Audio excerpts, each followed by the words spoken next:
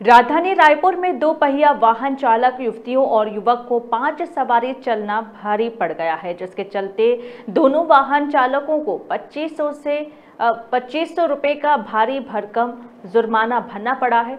बता दें कि 5 जुलाई को यातायात पुलिस व्हाट्सएप कंप्लेंट पोर्टल पर दोपहिया वाहन में चार सवारी एवं स्कूटी में पाँच सवारी चलने का वीडियो फुटेज प्राप्त हुआ, जिस पर तुरंत संज्ञान लेते हुए यातायात पुलिस के अधिकारी कर्मचारियों द्वारा संबंधित वाहन चालकों को कार्यालय बुलाकर उनके विरुद्ध मोटर यान अधिनियम के तहत कार्रवाई करते हुए पच्चीस सौ रुपये का जुर्माना लगाया।